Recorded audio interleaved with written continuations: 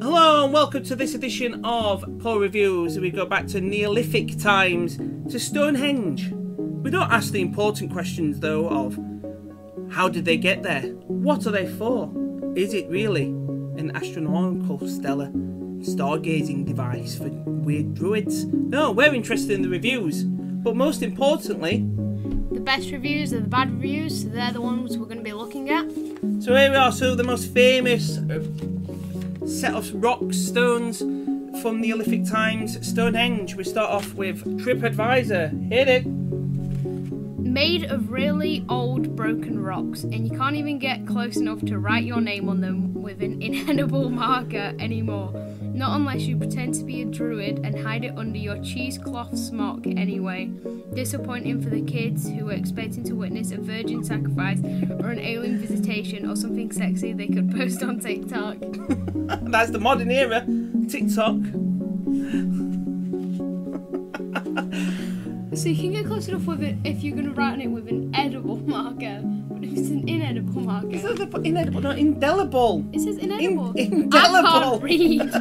indelible marker, as in non-permanent. I can't read. inedible marker. I thought I said inedible there as well. Right, next one. Was surprised they opened it to visitors before finishing it. We'll give it another go when it's finished. Those Neolithic people didn't even bother to finish. No, not they might have collapsed over the last few thousand years or something. It's just a bunch of rocks in a field. Wow. You have to excuse the sarcasm, but the reality is that this is exactly what this attraction is. You can't even go up on them. Yes, there's some historical background, but that can be said of plenty of other far better attractions that our country has to offer. Give it a miss, not worth the effort. Big piles of rocks in other places interesting. Uh, But if they're in a field, then they're not. yeah.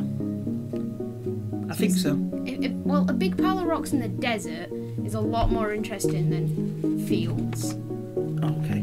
I'll take your word on that one.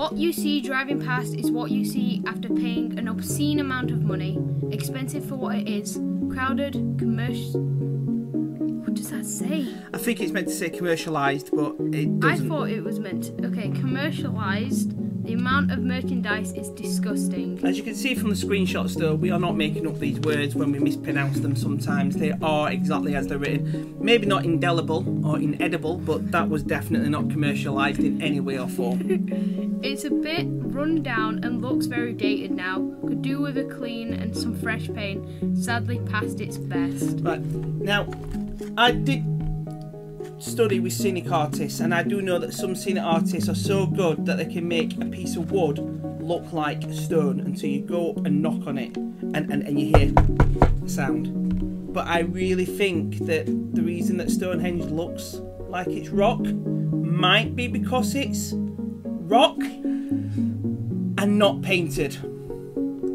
But I might be wrong. So, Google reviews, let's see. Not enough rocks. They also want tell me where the secret artifact is.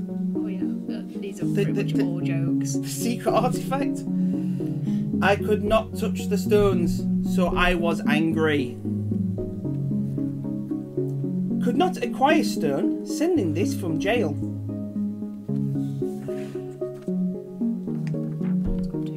They charge £24 per person to see it. Daylight robbery! Thank you. Okay, well, at least we know the price now. But just um, so you know, if you are an English Heritage or National Trust member, it is free. The pricing on reviews was so inconsistent. Some people said it was twenty pound. Some people said it was twenty four pound. Some people said it was thirty quid. Uh, there is one on TripAdvisor where it does take a picture of the pricing. Now, fair enough, for a lot of these reviews, for somewhere like Stonehenge, it is an international tourist destination. A lot of people from abroad will go there and will obviously pay that price because that is what it is. They're only coming over for the vacation for that short period.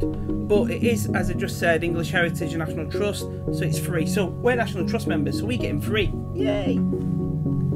Oh yeah, there's lots of sites that cost money that we just don't pay for. Yep. Well, we technically do we? What? Do you technically pay? Well, yeah, it is a membership. It costs me like 120 quid a year, Yes. but I can visit hundreds of places uh, when they reopen after uh, after the lockdown. Like, subscribe, tell us what you want to see next time. Could be somewhere famous, could be a hole in the wall place that you just think the reviews are funny. Uh, but we'll see you um, next time. Bye bye.